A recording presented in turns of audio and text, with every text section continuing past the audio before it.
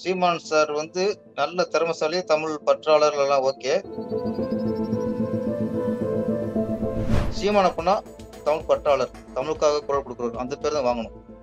இப்ப சீமானால ரஜினி எதுக்கு ஒரு பேர் ஆயிப்போச்சு? அஜித் சாருக்கான கதைகள் இல்ல ஸ்கிரிப்ட் இருக்கா? அவரோட சமீபத்துல பேசுனீங்களா? அவருடைய வளர்ச்சியும் இப்ப திருப்பதியில இருந்த வளர்ச்சி அவருக்கு இல்லை. அவர் எப்படி விஜய் சார் வளர்ந்துருக்காரோ அதே அளவுக்கு அவரும் வளர்ந்துட்டு வர்றாரு. சீமான் அவர்கள். அவர் உங்களை மாதிரி ஒரு இயக்குனர் சினிமா பின்னணியில இருந்து வந்தவர். அது தமிழ் தேசியம் சார்ந்து பேசுறாரு. அவருடைய வளர்ச்சியை எப்படி பாக்குறீங்க? இந்த தேர்தல்ல அவர் என்ன ரோல் ப்ளே பண்ணுவார்னு நினைக்கிறீங்க? இல்ல அவருடைய வளர்ச்சிங்கிறது ஆரம்பத்துல இருந்தே அது ஒரே லெவல் தான் இருக்குது. என்னை பொறுத்த வரைக்கும் சீமான் சார் வந்து நல்ல திறமைசாலி தமிழ் பற்றாளர்கள் எல்லாம் ஓகே அவருடைய சக்தியை விரயம் பண்றார். ரஜினி எதிர்ப்பதன் மூலயமா அவர் சக்தி தான் விரயம் பண்றாரு. அது இப்ப ரஜினி எதிர்க்கிறதா சிவனோட சீமானோட கொள்கை அப்படின்னு ஆயிப்போச்சு. ஒரு காலத்துல புறவாகரன் புகழ் பாடுறது ஆஹ், இலங்கை தமிழருடைய நல்வாழ்வுக்காக குரல் கொடுக்கறது இதுதான் ஒரு கொள்கையா தெரிஞ்சது. ஒருவேளை வைகோ வைகோ இருந்தாரு. அதுக்கு பிறகு சீமான குரல்லாம் ஈழத்தமிழருக்காக இருந்துச்சு. அப்ப அது அவ- அவங்கள சார்ந்தவங்க அவங்களுக்காக குரல் கொடுக்குறவங்கன்னு இருந்துச்சு. இப்ப சமீபமா ரஜினி எதிர்க்கிறவரா சீமான் ஆஹ் அந்த மாதிரி ஒரு ஒரு பிம்பத்தை ஒரு தோற்றத்தை ஏற்படுத்திட்டாரு. அது அவருக்கு மைனஸ் அதை தூக்கி போட்டணும் அவர் வராரு வரல. அவரு முதலமைச்சர் வேட்பாளர் நிக்கிறாரு நிக்கல. அதெல்லாம் தூக்கி போட்டு நம்ம வளர்ச்சி என்ன?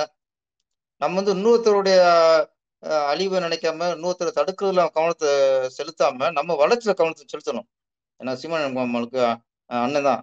எனக்கு எனக்கு உடைய ஆதங்கம் என்னன்னா ஏன் இது இதையே சிண்டிக்கு இருக்காரு சீமான் சார் ரஜினி சார் சிண்டிக்கு இருக்காரு தூக்கி போட வேண்டியனே அது வரட்டும். மக்கள் செல்வாக்கு இருந்தால் அவர் ஜெயிக்கட்டும். நம்ம வளர்ச்சி என்ன நம்ம நம்ம முன்னேற்றம் என்ன?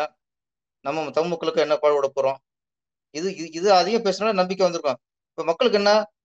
சீமானால அவர் ரஜினி எதிர்க்கிறன்னு ஆயிப்போச்சு சீமான அப்படின்னா தமிழ் பற்றாளர் தமிழுக்காக குரல் கொடுக்குறவர். அந்த பேர் தான் வாங்கணும். இப்ப சீமானால ரஜினி எதுக்குறன்னு பேர் ஆகிப்போச்சு ஆயிப்போச்சு. அது ஒரு மைனஸ் அதை தூக்கி போட்டு முழுக்க முழுக்க அது உள்ளுக்கு உள்ள ஒரு உண்மையான உணர்வை தமிழ் உணர்வை தமிழோட அக்கறையை அதை மட்டுமே அவர் எடுத்து பயணிச்சாலே அவர் வெற்றி இன்னும் பெருசா இருக்கும். அஜித் சாருக்கான கதைகள் இல்ல ஸ்கிரிப்ட் இருக்கா? அவரோட சமீபத்துல பேசுனீங்களா? ஆஹ் அஜித் சாருக்கு அவரும் சுட்டு வச்சிருக்கேன்ப்பா. ஆஹ் நான் விஜய் சார்கிட்ட உள்ள டச் அளவுக்கு அஜித் சார்கிட்ட அதிகமா நான் பேசல. ஆனா கடைசியா அவருடைய அவர் பையனுடைய ஃபர்ஸ்ட் பர்த்டேக்கு என்னைய அழைச்சிருந்தாரு. அதில் பார்த்தா நான் போனதுக்கப்புறம் தான் எனக்கு தெரிஞ்சது. எந்த அளவுக்கு மதிப்பு வச்சிருக்காருன்னு.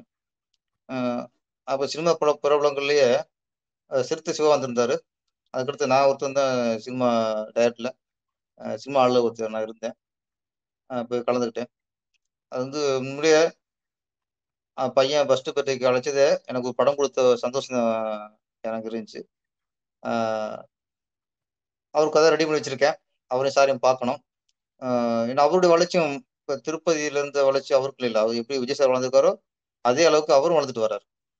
ரெண்டு பேரும் ஈக்குவல் வளர்ச்சி தான். இப்போ இப்ப பண்ண கூட என்ன நம்ம விஜய் சார் பண்ற கதையை இப்ப அஜித் சார் பண்ண முடியாது. ஏன்னா அதுல கொஞ்சம் அந்த அரசியல் ஆஹ் நெடி அரசியல் தூரம் போடுவோம் அதுல. அஜித் சார்ல அவருக்கு ஏன்னா அவருக்கு அந்த மாதிரி நோக்கம் இல்லைன்னு தெரியுது. அரசியல் வர நோக்கம் ஆஹ் சீன்றது அது இல்லாமல் அவர் வேற ரூட்ல போய்கிட்டு இருக்காரு. அப்போ அவர் ரூட்டுக்கு ஏற்ற மாதிரி நம்ம கதை பண்ணணும். அந்த மாதிரி கதை அவர் தனியாக வச்சிருக்கேன். இவருக்கு தனியாக வச்சிருக்கேன். வாய்ப்பு கரெக்டாக ஆண்டு அமைச்சு கொடுத்தோன்னா திருப்பி நம்ம அடுத்த இன்னிங்ஸ் ஆரம்பிக்கலாம்.